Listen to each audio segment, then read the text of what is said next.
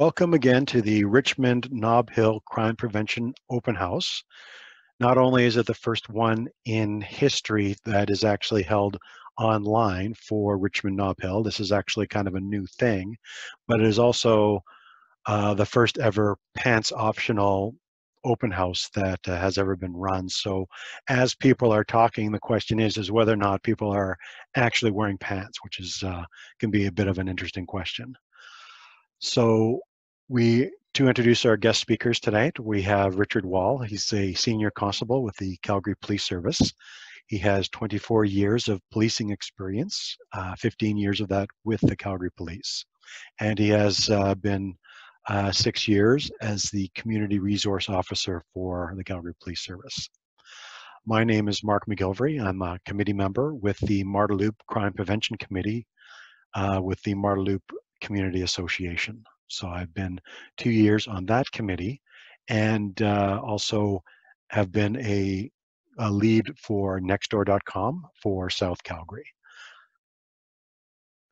Our agenda for the evening will be a review of the crime prevention perception statistics and, and then we'll be comparing them to the actual statistics.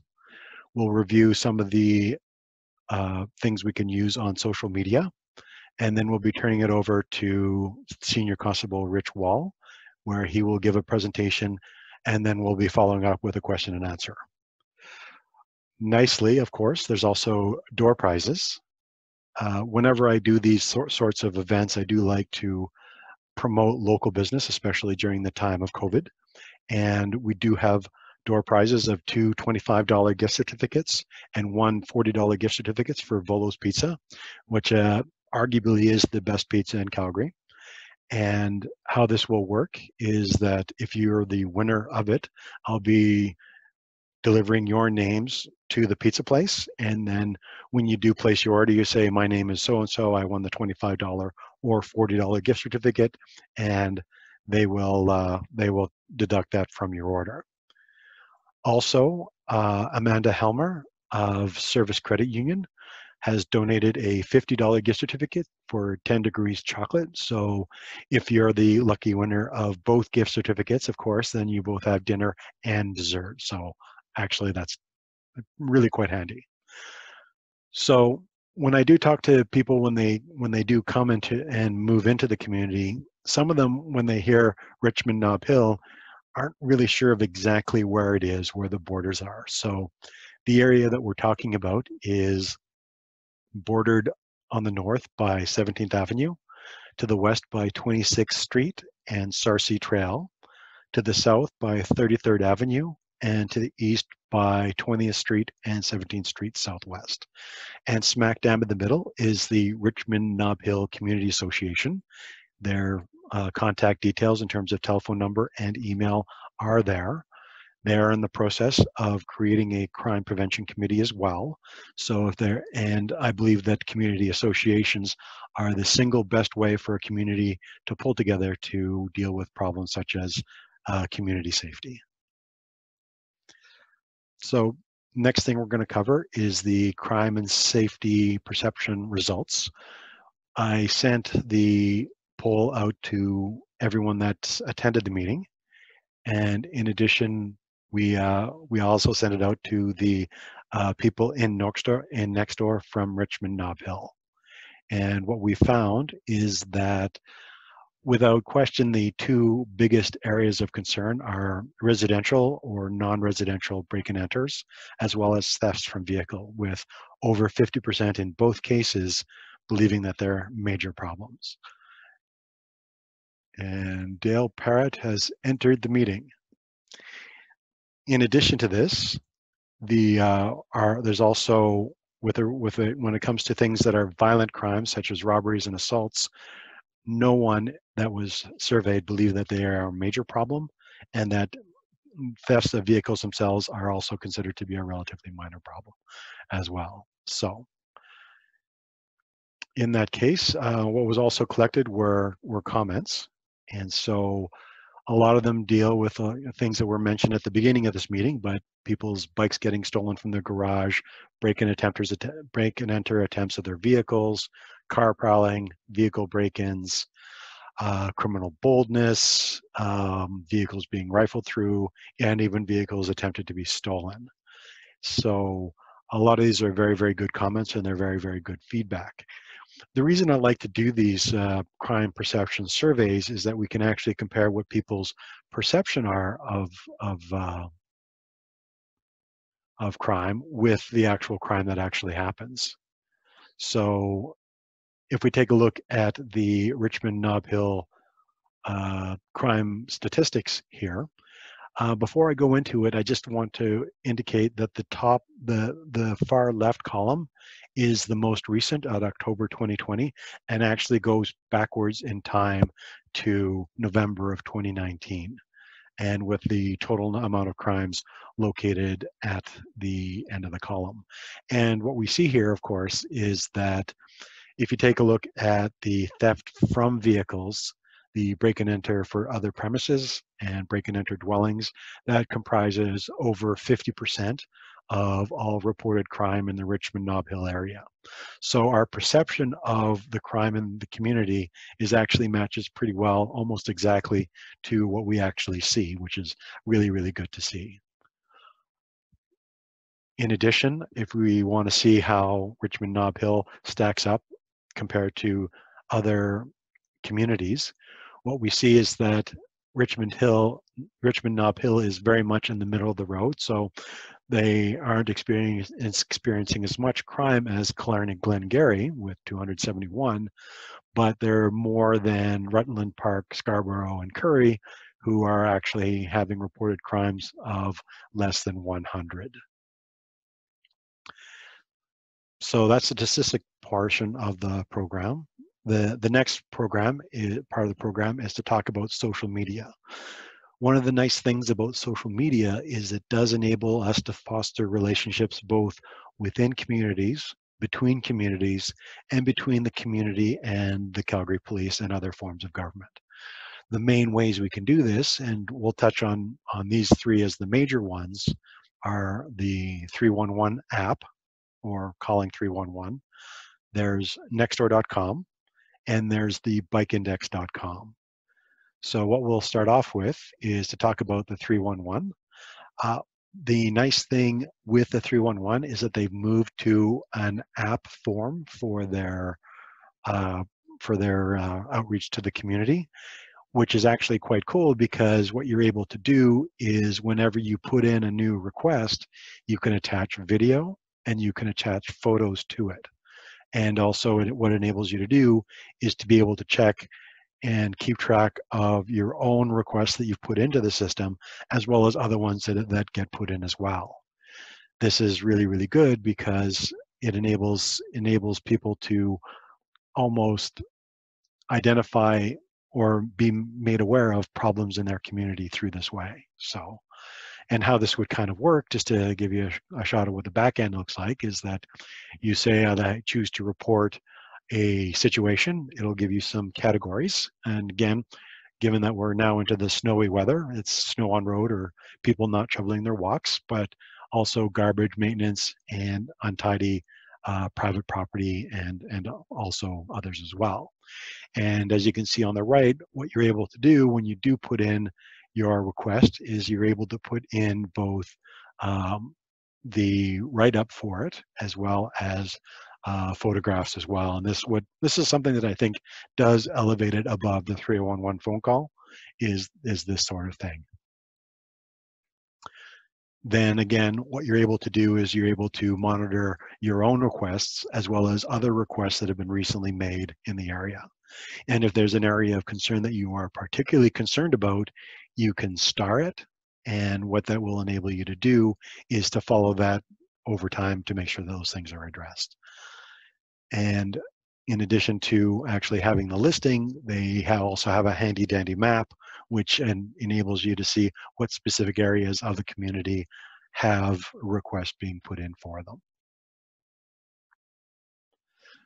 The next uh, social media app that I'd like to talk about is Nextdoor. If anyone is familiar with Nextdoor, it's kind of like Facebook, but it's focused directly on your community. And how that kind of works is that it it's kind of works as like a private social network. People that get put into that join Nextdoor, their address is verified and they are put into the community that they are that they that they're a part of.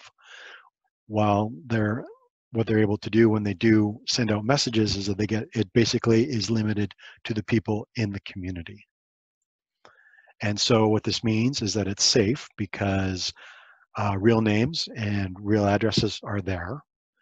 It's local, so it's there's a specific boundary of which contains the community, and it's also valuable. So knowing that, for example, if you're looking for recommendations for stuff around your area, it's being given by the people in the area for the people in your area. And again, this does come in very, very handy for things such as crime and safety. So in addition to crime and safety issue, which is kind of on the right-hand side where we talk about neighborhood watch and receiving urgent alerts, but also there's an opportunity to meet your neighbors, borrow ladders. Uh, the communities, the next door community areas also had maps for people who wanted to be able to offer during the time of the lockdown, if, if you were in quarantine, someone would actually go out and purchase groceries and deliver them for you on your behalf. And this helping helping your neighbors out kind of thing was very, very popular with the Nextdoor app. Um, and again, very much like 311, what you're able to do is share both photos and video. And what I'm going to do here is I'm just going to uh, pull up the actual Nextdoor app. Um, right right here. And just to give you an idea what it looks like. So for example, uh, so how it kind of looks is that very much like Facebook, paste, postings of your of your neighbors goes goes up and you get to see what's happening. If there's an area that you're particularly concerned with, let's say you want to sell something, you want to take a look at public services. In our case, if we're talking about crime and safety, these are things that we can look at for sure. So um, in this case, somebody saw a coyote on 19th Street and 34th Avenue. Pretty exciting. Uh, some people talking about whether or not they should they should report their neighbor neighbor for COVID-19 restriction violations. Very interesting. Um, but again, what you're able to do is to actually click on these and, and, and get that further information. So again, this was a bit of a practical joke, but someone dressing up as the uh, Finnish Santa Claus and and scaring little kids during Christmas as was going on and was the the police have been were were told about it and this person's idea of a practical joke was was basically held off on. So that's kind of what that's about there. So um, what I'll do I'll just go back to share the screen. And uh, and again what we're doing here is that uh, if we can use this app to keep everyone informed about suspicious activity, then this is what we can do. For example, uh, one gentleman I was talking to, he uh, was uh, out for his morning walk after a fresh snowfall like we had this morning and noticed that there were footprints going from vehicle to vehicle to vehicle. And so what he was able to do is that he headed on ahead and found the person that was uh, rifling door handles to try to get get the stuff out of people's unlocked vehicles.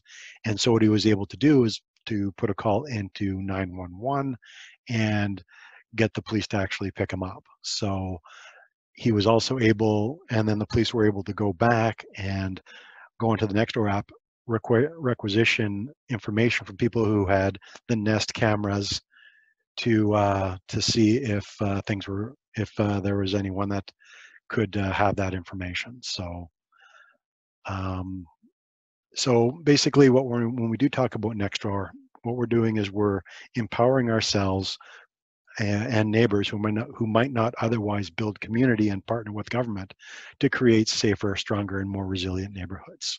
And again, one of the things that we can do is to use this Nextdoor app and start using the 311 app at the same time.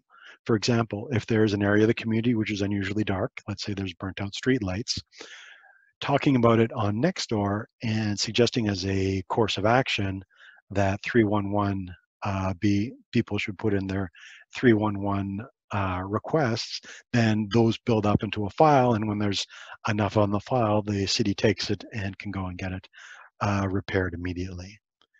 Um, the and the third and final uh, social media app is the www.bikeindex.com. What you're able to do here is that if you have your bike, you can register the bike on the site and if it gets stolen and it gets recovered by police, then what they're able to do is to go into Bike Index, pull up your registration number, and return your bike. And I pulled this screenshot up a couple days ago, and uh, it's over $13 million worth, worth of bikes have been uh, recovered. So that's, uh, that's pretty exciting. So what I'm going to do here, I just got a phone call from Rich Wall. So um, what I'm going to do here is uh, see if he's uh, on. So thank you very much for uh, your patience. Uh, may I take this opportunity to introduce Rich Wall of the Calgary Police Service. Okay, no worries. Um, so for Richmond Nob Hill, currently right now, we're doing pretty good on crime. I'm just getting the final stats right through here, as I can just bring them up right now. Um, I have them right up now. So, a quick look here. All right. So currently for Richmond Nob Hill, we're doing pretty good for crime. We had a bit of a blip earlier in the year um, when we had um, some car prowlings that were going on. Throughout um, the rest of 2020, we were good until we got to around about, just have a quick look here, make sure I've got the correct stats here. Um, to do with our B&Es around, I'm going to say just make sure I just got the right stats here. It's going to be in October. So I started getting phone calls in October um, regarding some of the detached garage uh, B&Es that we were having. Uh, we related them down to um, a drug house that we had just off Richmond Road and 23 Avenue, and we were successfully shutting that down, which is pretty good. So um, right now, regarding our crime, we're way down on our crime in Richmond Nob Hill and the bottom of South Calgary and up into Altadore. So we're doing quite well. So at the beginning of the year, obviously COVID um, came in and we, uh, we were locked down. That cut out crime for about 58% um, throughout all of our districts, including Richmond Nob Hill, but we still started to suffer from our opportunist crime. So we were suffering from car prowlings and we were getting our detached garage B&Es. We had some pretty incredible stats that came out of that. That out of our B&Es, um, I think we had two, just double checking here for our residential. I double check the, uh, just double check them here. Richmond. Yes. So we had, um, in July, we had 11 break-in enters. Out of all of those, none of them were residential. All of them were detached garage. Um, and then we had eight the following month. And now we're down to four uh, for the entire month of October and all the way through November. 90% of all of our detached garage uh, B&Es were either unlocked doors or we had as um, basically unlocked. That's the issue that we're having across the city, that we're in the high 90% for um, back doors and man doors being left unlocked and um, and they're getting in. So they're not actually break-ins, they're actually walk-ins, which is um, a bit of a problem. With our car prowlings, again, we're around about 87% unlocked and 95% were with property on view in the vehicles. Um, so throughout the year, we've been pushing the 9 p.m. routine, which is um, uh, a really uh, a fantastic system that we put out. We've had a lot of success with it. It's just like a little checklist that everyone should go by for at 9 p.m. every single um, every single night. You know, putting outside lights on, make sure your vehicles are locked, make sure that you've taken any property out your vehicles, your garage doors are locked, your man doors are locked, and windows are closed, and that you know we've had an awful lot of success with that. Um, Richmond Nob Hill is interesting because you're sandwiched between Richmond and then um, the bottom South Calgary and the top of Bankview. And so what we've been noticing, certainly over COVID, is that we've had a bleed over um, of crime from the downtown core. So what we are seeing is random theft. So um, we're seeing vehicles unlocked that are left with change in the center console or with uh, laptops and handbags, believe it or not, in vehicles. And um, we're getting to the call and there's no forced entry. And they're very modern vehicles. And to get into a modern vehicle, you need a key. You don't slim jim your way into a modern vehicle now. They've all got deadlocks on them. They've all got shielded locks. So we, we know that vehicles have been left unlocked. Um, and we're also having an issue with proximity keys. Um, so we know that um, uh, people are walking away from their vehicles expecting the vehicle to lock. They go into their house, they move the keys in the house. The keys come within the um, the distance of the proximity lock of the vehicle, and the vehicle unlocks and it stays unlocked all night. So we've been using 9 p.m. to routine to just make sure that people um, are aware that we have these issues and that you know they're just simple common sense tips that we've had a huge amount of success with. So getting back to our B&Es that we had in the later part of the year, um, we had a lot of um, uh, de detached garage breaking in. And when I say a lot, um, Richmond Nob Hill generally has very low numbers, um, but we started to see a spike um, around about the end of October and into November. Um, we had six. And what we saw is that every single one of them was unlocked.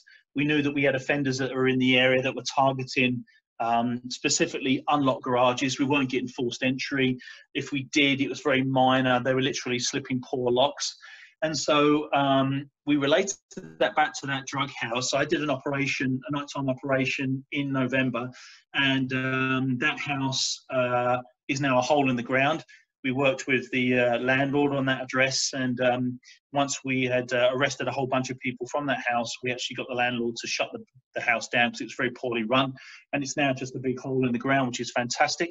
I checked on it yesterday to make sure it still is a hole on the ground because it was a real pain in my side, um, and we got rid of that which was really good. So since then, we've seen quite a radical drop in our crime in Richmond Nob Hill, which has been super good.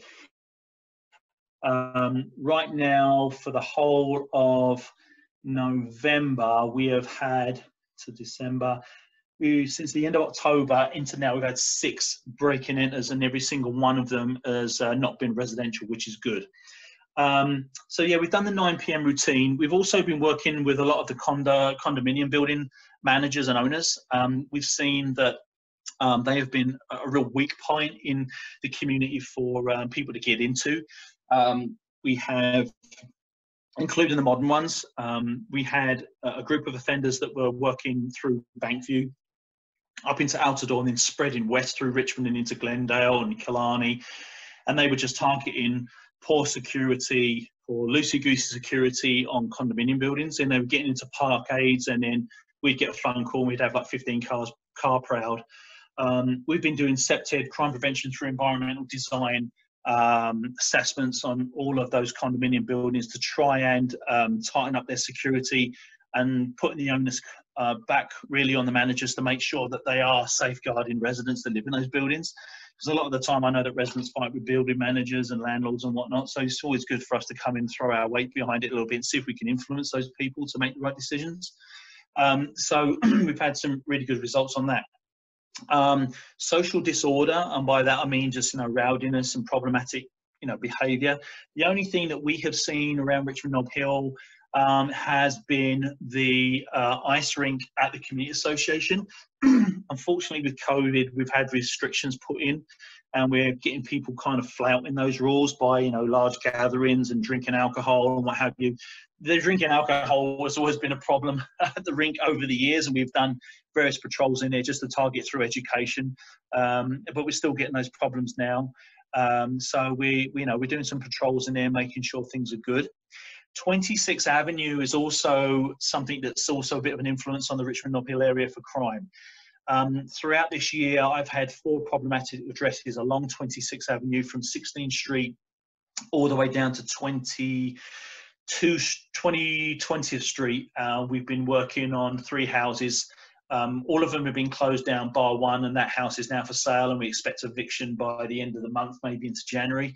Um, but they're mainly isolated crime from the point of view that they're not actually doing the crime at the houses; they're going out and doing their thing. Um, what we did see during COVID was when the CERB payments were coming out, there wasn't really a monitoring of who got it. And so most of our drug dealers and most of our crime guys and criminals were applying for CERB, getting it, and then moving into condominium buildings within communities. And um, what they were doing is they were turning a, a, a, decent building into a nightmare. So we had an issue with that 16th Street that was dealt with very quickly. Um, we had another problem at a house over on 18th Street as well. So that was problematic, and that was all blending into um, our issues around um, uh, the detached garage B&Es. Um, we haven't had a single street robbery uh, reported in Richmond Nob Hill this year. They're very rare in the city. Uh, robbery is obviously theft with threats of or acts of violence. Um, uh, not like most people think on Facebook, I leave my wallet on the ground and come back, it's gone, I've been robbed. That is not the correct term. Um, so we, we, are doing very well from that point of view. We work closely with all of the community associations. It's been tough this year to try and get in contact with everyone because not everyone's doing the online meetings. We, um, at the beginning of the year, I put together a large uh, article on car prowlings, and I just did another one for breaking enters, which all includes the 9 p.m. routine, and we've had a great deal of success with that. Um, car coverage for Calgary Police has been very good in that area. We've um, we took it back from one district three and a half years ago. Um, we found that we we are probably two, three, or maybe up to four times more car coverage from from um, CPS members in there because it's that also that link between Outer South Calgary, and Bankview as well. So you probably see us a lot in Richmond Nob Hill. It's not necessarily because there's a lot of crime, because they're not. You're around pretty much the low the low end for me for um, for crime, which is good. You're sort of out of the 13 communities that I run, you are approximately ninth for crime in my area, which is pretty good.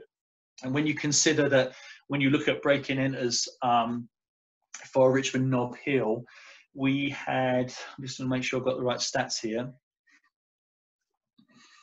for Richmond, we had 40, 32 B&Es for the entire um, for the entire year so far. Uh, if you put that up against Door, which is at 87, uh, we're doing pretty good. And although you're quite a small area, you still have a very dense population in there, and you're a, a link between Door and 33 Avenue. Um, I will talk about traffic safety. Uh, one of the things that comes up around about Richmond Hill is certainly around sort of like your 21 Street uh, area, especially with the construction of the condominium building up near the top near 33 Avenue. Uh, um, we're getting some issues with uh, problematic driving in that area. What we've been doing is a lot of enforcement in there. Um, we put together an operation with traffic, and traffic have been going in there and targeting um, uh, poor driving. You know, they're driving the wrong way into traffic. They're driving against one way, um, against stop signs. They're speeding through the playground zones, and so traffic has been sitting up in there. And um, Constable McDonald, who's the um, spot team member who goes in and targets those areas through traffic safety requests, uh, we've been working in there and. Uh, we've had some contact with the city about how we're going to try and fix that issue in there. So we are continuing to enforce um, in that area. We also had um, another issue that's come up, and I will say about Richmond Nob Hill and sort of environs around there is abandoned houses. So you've probably seen in the media this year there was a lot of heat that went um, into Bankview regarding the amount of uh, developers that were um, buying up houses and then leaving them. And then we were certainly getting lots of calls for service around um, social disorder, homeless moving in, breaking in, um, and then that would turn into like a drug flop house, and then we'd start to see our crime go up.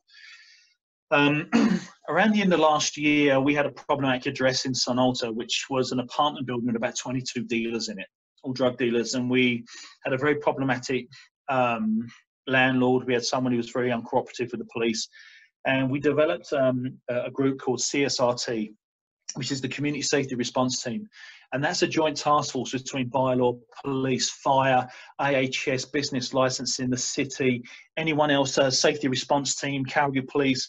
And um, we put it together. And, and through that, we have the ability to deal with problematic abandoned properties or properties that are a, a major issue for public health and public safety. And so um, in Richmond Nob Hill, we have had the odd address where um, we've had someone buy a house and sit on it for six months, and in that time, we've started to see sort of antisocial behaviour, social um, social issues, graffiti, that sort of thing. And so CSRT wields a great deal of power, and what it does is it immediately goes to the source of the issue, which is the person that owns the house, puts pressure on them to fix it, make it secure, turn off the gas, or whatever it may be that needs to be done. And if they don't, then there's fines imposed. And also, there's sometimes a limit given on if they're going to demolish the house, well, here's your permit, get it done. So we know that um, we've had a great deal of success with that because we had some problem houses in the bottom of Richmond Knob Hill, um, on the edge of Killarney, certainly in Altadore and Bankview in South Calgary. And we started knocking those houses down or getting them sorted out by the, the, the homeowners.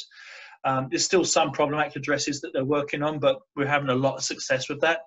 And believe it or not, just one abandoned house can push our stats um, quite high and then it doesn't just particularly affect one specific community. It can go right the way through one community and bleed over into another. And that's what we were finding with um, garrison woods and along 33 avenue down to 26 avenue was we had specific offenders that they would commit a crime. We'd get a phone call a call for service for a crime in progress. Would flood that area with units and they would literally disappear and what we were finding was that they had found their way into a basement window of an apartment building, uh, abandoned building, and get off street like absolutely very, very, very, very quickly. So if we have houses like that, we really want to know about them. If you have a house that's next door to you that's empty and it's not being used, and you see that there's evidence of people getting in, or you think that you know it's becoming a problem, we need to know about that because we don't know every single house um, we need to know about that so we can certainly work with the city and CSRT to put pressure on the homeowner to start sorting that house out and remove that problem from our community.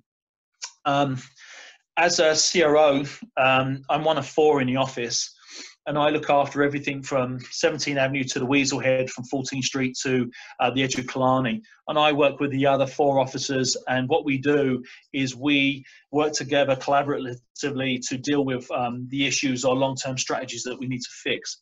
And so sometimes we may have a community like Glendale or Glenbrook or even the 37th Street corridor down by um, Westbrook train station.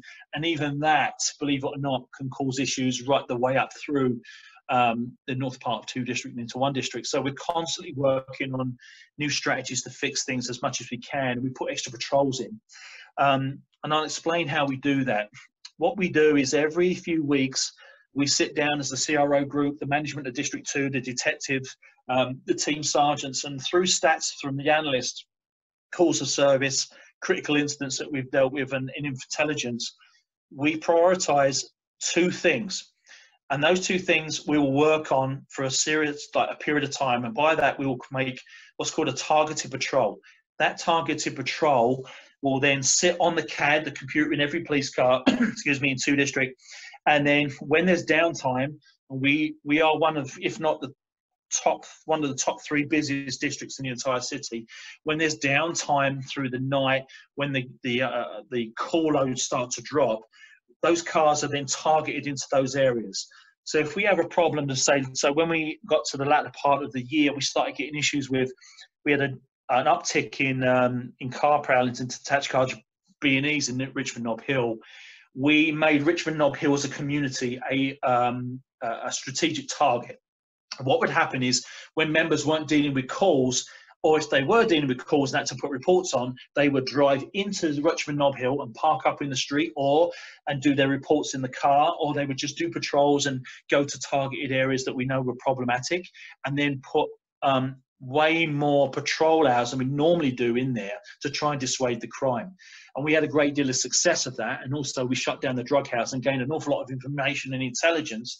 And also spoke to people in the community at three o'clock in the morning um, that just randomly don't live there and walk around um, and um, and speak to them and see what we we can find out. From that, we dissuade the crime.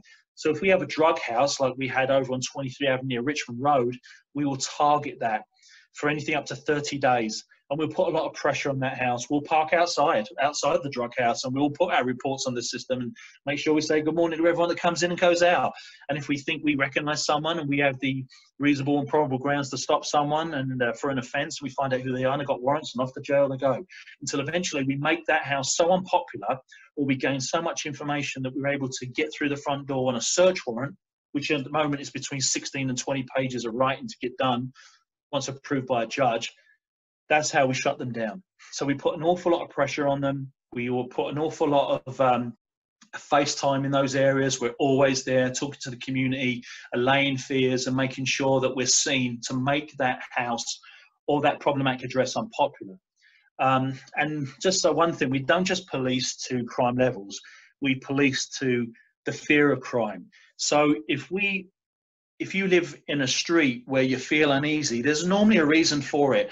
You know, if you've got problematic neighbours or you've got a problem where there's a house where people there's a lot of foot traffic, people coming and going, we need to know about that because you know I think a lot of people think that we we know everything. Well, we know a lot, but we don't know everything. And the community is really that conduit for our information to come into us um, and there's ways of doing it. You can walk in, wish you could walk into a police station right now because of COVID, but you can call us in the office and let us know.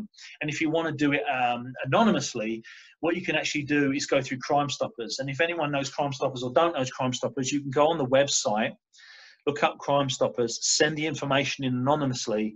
And because it's an internationally recognized program, I can actually use your anonymous information and put it into a legal document, such as a search warrant, protect you because I don't have to know your name, and use that information to then build our grounds to give us the the grounds to get through the front door on a search warrant. We just did one today.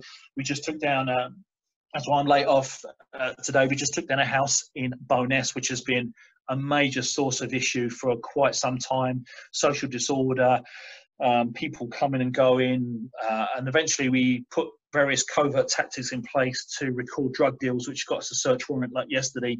And the uh, tactical unit went through the front door and gave an early morning, you know, chat this morning. And uh, through that, we arrested two people and secured criminal charges. And now we're working with AHS to get the house condemned if we can, to see if we can make that happen to make a you know positive impact in the community. So we're constantly busy. We are a 24/7 operation. We don't stop and we have been impacted by um, by COVID. Um, the reason the CROs are back on teams is because one team out of ten members lost six, uh, three positive cases and three other isolated. So there's a lot of things that are going on right now. We're fighting COVID just like everyone else. It has a huge impact on our staffing levels.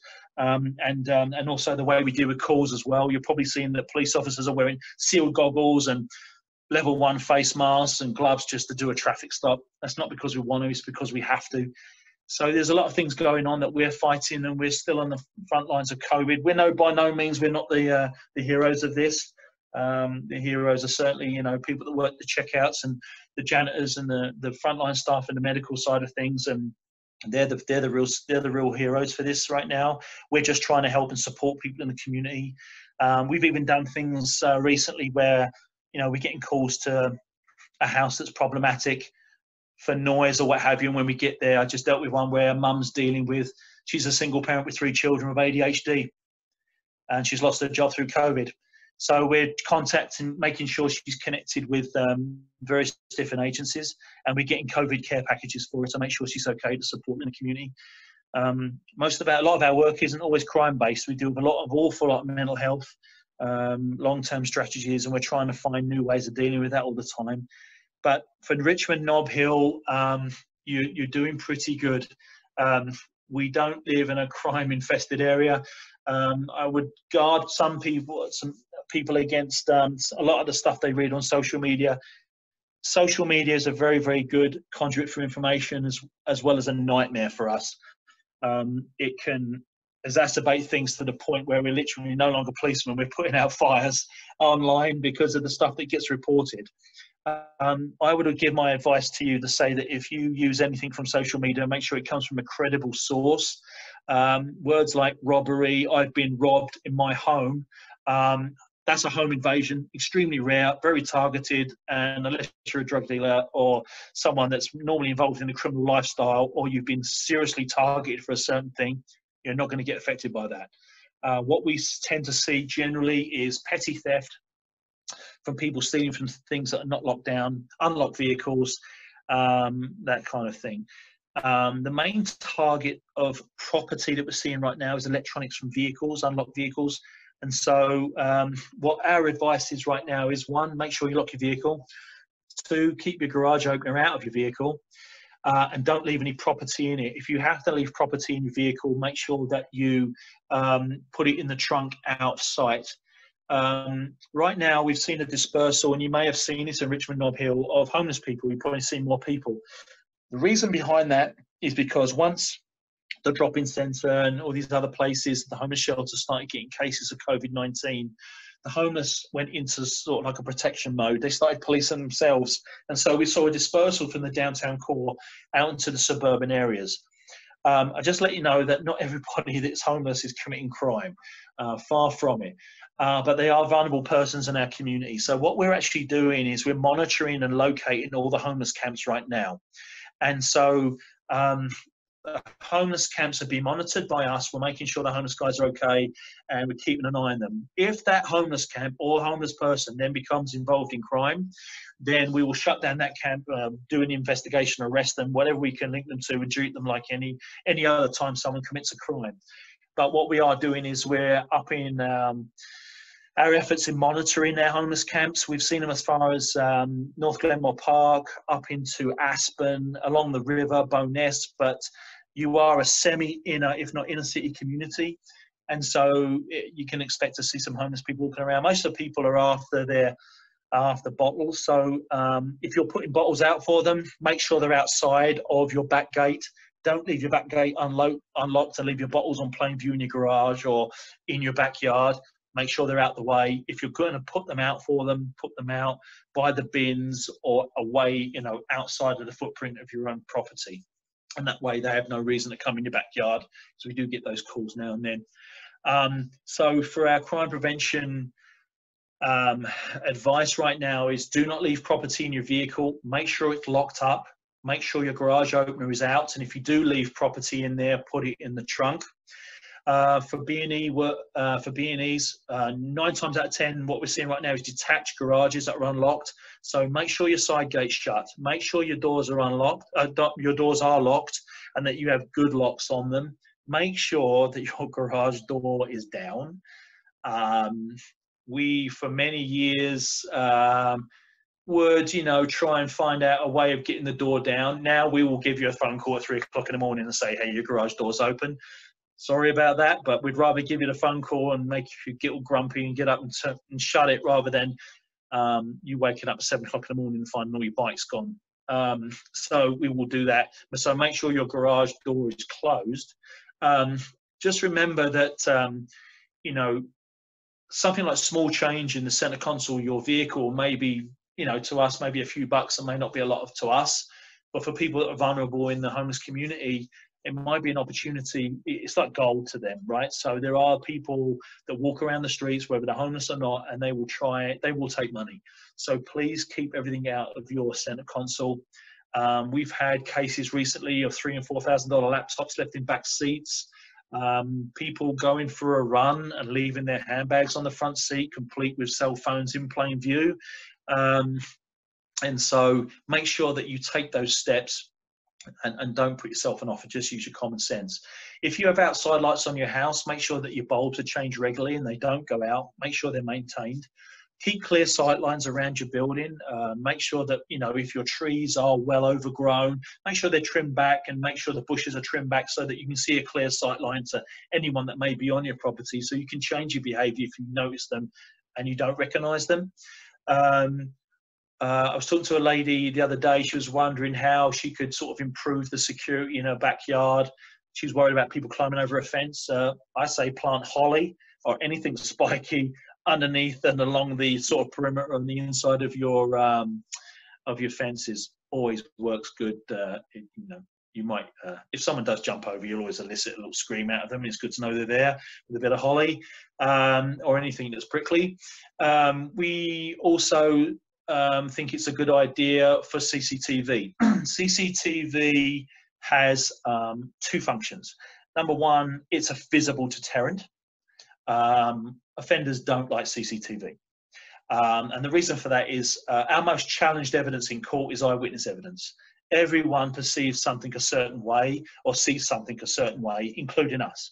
Uh, and I've been a cop for 25 years, and just because I've been a policeman 25 years doesn't mean that everything I say on the stand will be taken as the gospel by the court. They'll always question me on everything, how I perceive things, see things, what I thought at the time.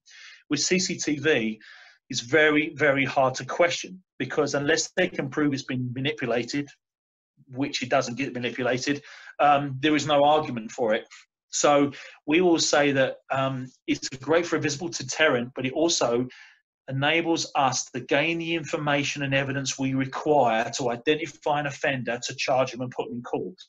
And that's a that's a um, a huge step for us because with CCTV, with without eh, inf, sorry without identity, we can't lay a charge. And CCTV has been uh, amazing uh, for us. I was the search manager for the Nathan O'Brien homicides uh, for 16 weeks uh, when it happened in 2014. And obviously, from a motion activated CCTV camera, we were able to identify Douglas Garland as the offender in his truck going to and from the house. And that was because someone had been car proud uh, before and they put it in their window. CCTV is gold for us. We absolutely love it. It's fantastic. So you can pick up a, a complete system um, you can pick up a, a system, a wireless system from Costco for a couple of hundred bucks. So certainly think about that for sure. Uh, we really love CCTV. Uh, good lighting as well is another good thing. Make sure you have operational locks on your doors and lock them. Um, and that way, if you don't lock them, you won't. If you lock them, you won't forget that you've locked them. So make sure that's done as well. Um, successes uh, this year. We had a guy called David Daniels who was uh, prowling all of our areas down into the downtown, up into two districts, into our areas. We laid over 130 odd charges, 170 charges, I believe, this year on him. And he's responsible for a whole bunch of car prowlings right across the city. So um, we uh, he's off the street, thank God. Um, we also had uh, three, four drug houses this year, all of which have been shut down. Um, we've done operations on, and some of them as simple as uh, just evictions if we don't have the full um, evidence to get search warrants. So we've had an awful lot of success in the area, but we just can't let a guard down. Opportunity theft, especially with COVID right now, is something that we're trying to combat in the communities. So we need you to do your side of things. Um, I always say this to, to people. Um, people think the Calgary Police Service are there to keep all your property safe and make sure you're safe and everything else. To a certain extent, yes, uh, but uh, we don't go around checking your door handles for you, making sure your doors are locked and your cars are locked um, that is your responsibility. Um, homeowners and property owners, you have an obligation and a responsibility to make sure your vehicles and your houses are safe, locked, secure, and operable. Um, my job is to, if a crime happens, gather the evidence, find that person, and bring them to justice, and help you with crime prevention and give you advice. Um, we don't fix everything. We don't look after everything. Otherwise, you'd be buying your house and car insurance for the Calgary Police Service, and you certainly don't do that. So, what we would say is, you know, you need to help us. We can do so much, but an awful lot of it, if it's your property, you are responsible for it. And so, if you are not locking your doors and not have good locks, or you're not doing your part, you're putting yourself on offer. And so, what ends up happening is that person, that offender will come in get lucky with that theft or whatever it may be and think, I'll try that again and try somewhere else until eventually the community becomes a soft target and our stats go up and then we have to have a, a huge response to try and deal with it. Um, the 9 p.m. routine has been posted over, I think, every single social media in the city. It's huge. Um, it's very, very important that you follow it. Try and police yourselves by it. We will do our part for sure, our patrols and you know, report crime and we'll do crime prevention and crime prevention patrols and do everything we can. But we rely on you as the community to do your part as well. And um, we hope that, you know, like if you ever need advice on what to do, you can call us at the office or email me, whatever you need to do. Um, and we'll happily help you out and give what advice we can to make sure that you and your family stay safe. What's that? I see a question come up. What's the 9 p.m. routine? The 9 p.m. routine, I uh, spoke about it earlier. It's just a brochure. Um, I think Graydon had it up. Did Graydon have it up earlier, Mark? So the 9 p.m. routine is basically seven or eight things that are on a on a leaflet, and and and they're things like turn your outside lights on, make sure your doors are closed, take your garage opener out your car, take sure make sure your property's out your vehicle, make sure your vehicle is locked.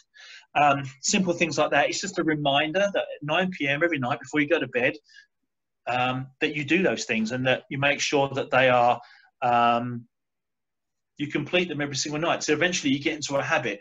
And um, we have leaflets at the office. If anyone wants them, let me know and I'll drop a bunch off and uh, you can stick it up on your wall in your kitchen and remind yourself. And we've even heard stories of, uh, you know, six and seven year olds pointing at it. Make sure you do that, mum and dad, because they've kind of learned it as well. So um, it's been a very, very good, um, uh, it's been very good uh, for us.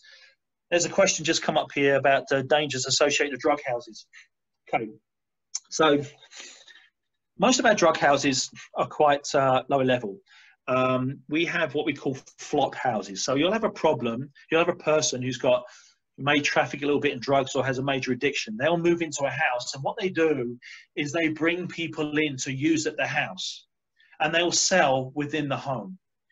Um, and that attracts crimes because people commit crime on the way in to get property to sell for drugs to support their habit. And then when they leave, they do the same thing again because it's constantly like a revolving, you know, revolving door with them. Um, so what we tend to do is we'll target the house and look at the person inside the house and then take down that house once we've got a search warrant. The, the, the, the main problem around drug houses is the crime that's committed to and from the house, car prowlings and our detached garage B&Es that we've been talking about um, from a point of view of guns, uh, the people that carry guns in the city are the major dealers that are selling this stuff. Um, we tend to take, we tend to arrest them in different ways. They tend to meet the um, person away from the house, sell to the the dealer from the home, and then that dealer that's at that home will take the drugs into the house. Um, we do get a lot of success. They are high level operations. You're talking about a mid to high level dealer, and that's dealt with by covert units throughout the city.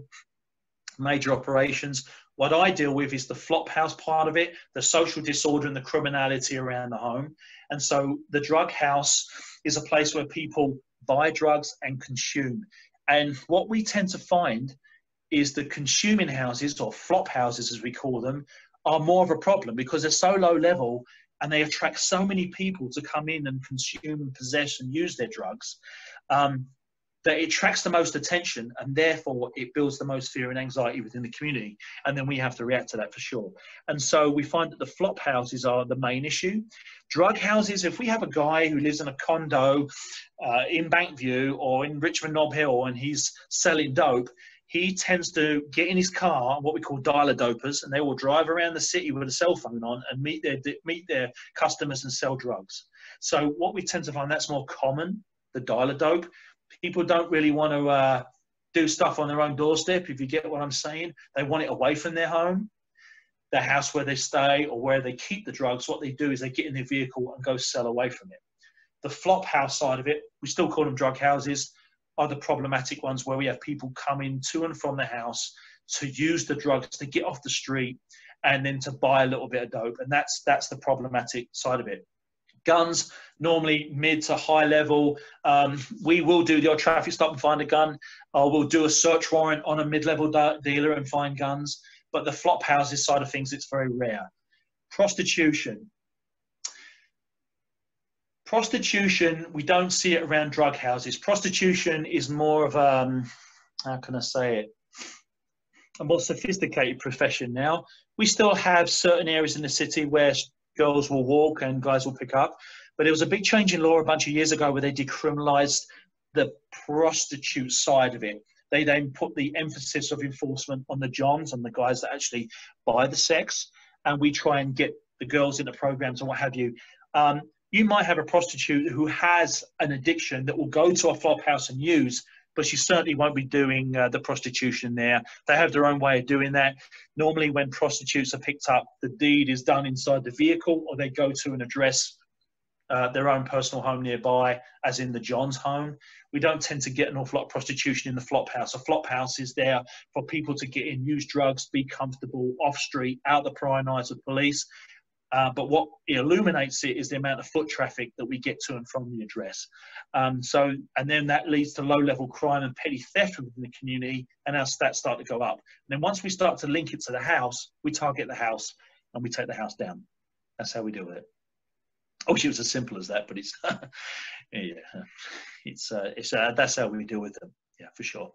Um, so yeah, that's really all I have right now. Um, we're doing good on stats. We had that blip in the fall. That's dropped off. We shut the drug houses. Don't have any close by to Richmond Knob Hill right now, which is really good. Um, so we're doing pretty good. We're doing well. So if you're playing hockey at the rink, stop drinking alcohol.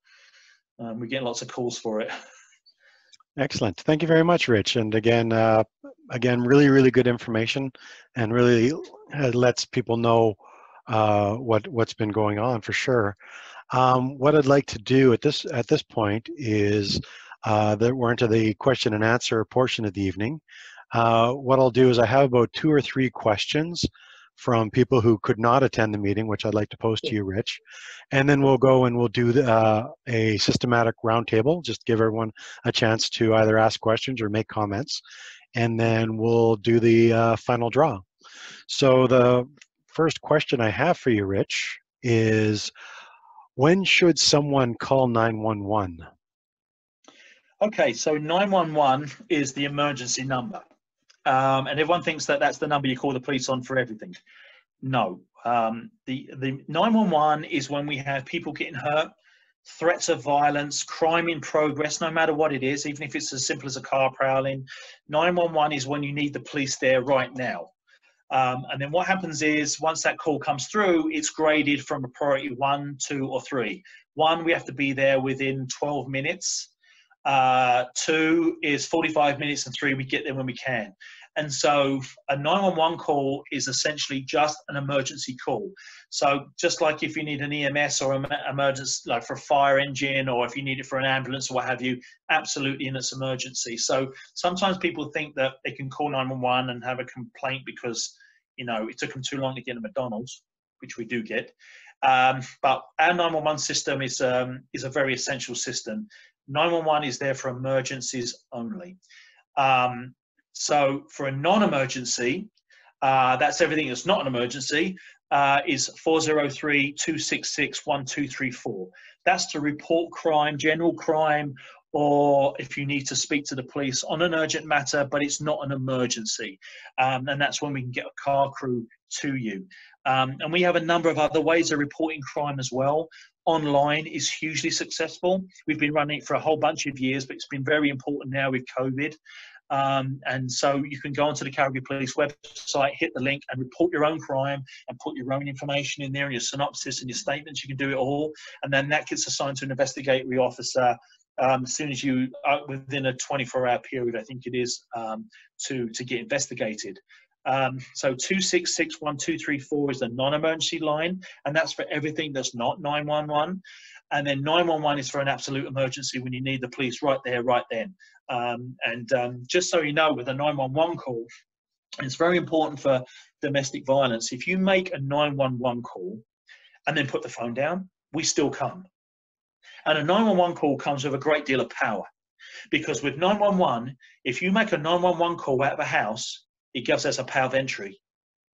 So if we get to a house and it's a 911 call, even if the phone's put down and someone comes to the door, like a guy comes to the door and says, No, you're not coming in, we have a power of entry to come in. That's in the criminal code. And because we have actually dealt with domestics like that, where someone, a lady has picked up the phone, dialed 911, put the phone down without having to talk to us. We've got to the door, the offender's come to the door, said, I don't know why you're here, get out of here. We go in and we find a domestic assault. So 911 comes with a great deal of power. Um, and it's very, very important because we only have a certain amount of dispatchers that will dispatch calls for 911. And then, uh, so that's for emergencies only. Okay. Next question is What should you do if you see a crime in progress or you see suspicious activity in progress? Okay, so suspicious activity and crime, two different things somewhat. So if it's a crime in progress, it's a 911 call to us, right? We want to know about that. Um, if you see a crime like a car prowling, a theft, or anything where you need the police right there, that's a 911 call. Once you make that call, the dispatcher is going to ask you a whole bunch of uh, uh, questions. Uh, where are you? Where uh, you know? What can you see? What are they wearing? Can you see weapons? Where are they going now? Um, you know, direction of travel, that sort of thing. Um, and for suspicious activity, let's just say you have a guy that's walking in the street three o'clock in the morning, he's looking into cars, but he's not actually touching them or what have you.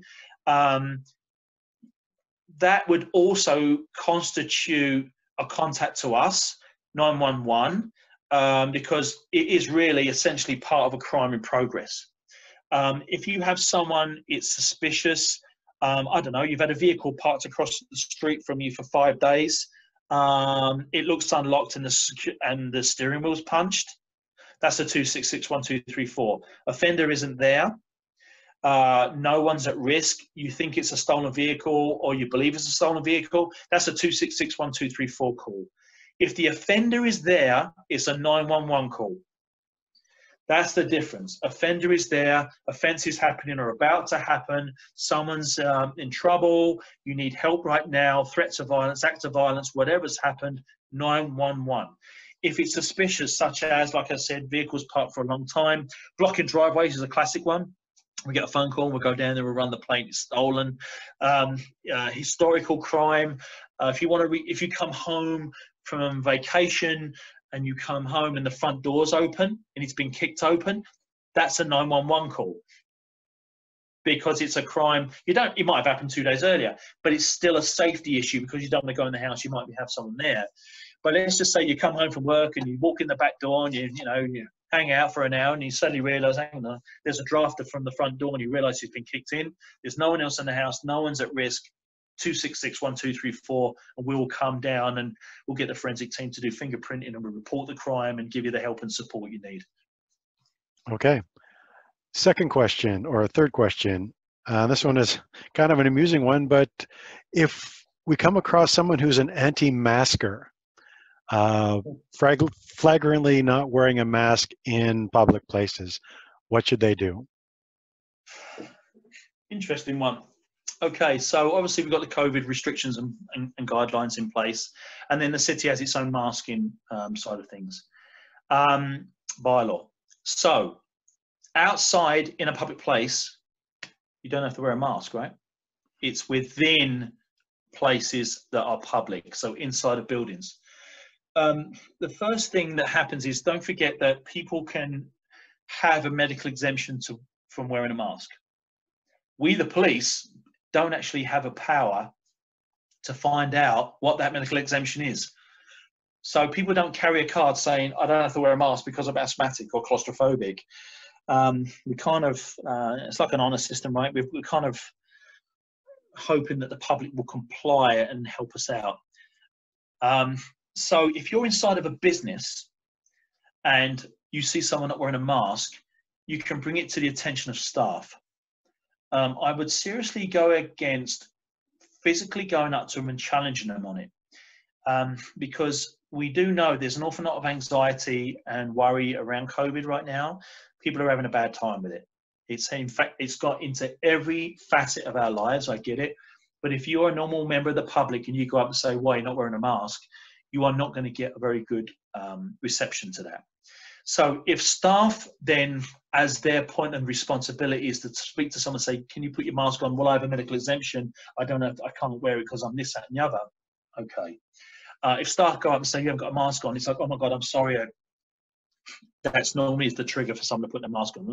You know, we've all forgotten to pick up a mask every now and then. Um, so it's a difficult one. Okay, so we can if we we've only we have laid a whole bunch of charges for people not wearing masks, and normally it's a case of why you're not wearing a mask, so I don't want to wear it. Why don't you have a mask on? I don't believe in it. You know, whatever it may be, the conspiracy theories, whatever it may be. And with that point, when it's flagrant, what they call flagrant contravention of the bylaw, that's when we'll lay the ticket for sure. And it's only a fifty dollar fine, right? Um, and as you've seen, we've got these anti-masking rallies that are going on right now, and I've been personally involved in those on the PSU side of things. It's very difficult to deal with, very hard to deal with. So um, from anti-masking side of things, I would suggest number one, stay away from the marches and rallying in the downtown core. You know, on Thursdays and Saturdays, stay away from them. We have to deal with them, unfortunately. It's very, very hard on us to deal with it, but we are dealing with it. Number two, if you go into a public place or a business and someone's not wearing a mask, please bring it to the attention of the staff. They have um, all have little plans within their building or their business to deal with it. Um, don't go up and personally challenge someone. And if you feel uncomfortable with someone not wearing a mask near you, get away from them. Um, that's the way I would do it. But um, if you see a problem around masking where someone is blatantly, flagrantly breaching the rules, you can call us on the 2661234 number um, and just or just bring it up to, uh, to staff. Oh, good question. So um, even though COVID is still going, we're still in the middle of a, an opioid epidemic. And so we are seeing, so uh, my background, I came as a policeman in London for 10 years. So what we dealt with there was sort of like your cocaine and your heroin because we were in Ireland. Calgary's a little bit different. We're landlocked. And so when I came here in 2005, it was crack cocaine, crack everything. That's all we found on people and weed, whatever. Um, now, what we are we have seen in the last four or five years is an influx in methamphetamine and fentanyl. Uh, the oxycodone side of things, opioids, that sort of thing, big, big effect on people. Um, what we find with meth is it can it can be made in a meth lab in you know uh, in someone's living room. You can make meth from you know the ingredients you can buy from Shoppers Drug Mart, and so the profit margins are very high, especially with fentanyl. Um, I mean, like in the millions of dollars, and you know people. You know, you see the news about shootings and things that are happening like that. That's all over drugs like fentanyl because the profit margins are in the hundreds of percents. So what we are finding with most of the people that have addictions right now uh, is fentanyl. And an interesting stat on this is that 80% of fentanyl use is in the suburbs. So it's not like uh, I'm a homeless guy and I've got an addiction downtown. That is part of it, but most of it, because fentanyl is expensive, it's used in the in the suburbs. So we have found realtors, architects, bankers, uh, people with very affluent and very well educated jobs in flop houses buying uh, baggies of fentanyl. So it affects everybody. Um, so the biggest issue we have right now is fentanyl and opioids um, that we are that we're getting on the street. It's very hazardous to use, incredibly hazardous for us. Um, we have to we always have gloves on when we're dealing with people anyway regardless of whether covid was here or not. Uh, we always wear gloves and the reason is it can be absorbed through the through the skin and we have had officers go down with it. Um, and we've had infect and we've also had um, exposures within property rooms and uh, believe it in police stations where officers have been infected with it fentanyl um, is the lead opioid that we deal with carfentanil even worse. One grain of sand size can car, carfentanil will kill you. Six grains of sand size of fentanyl will kill you.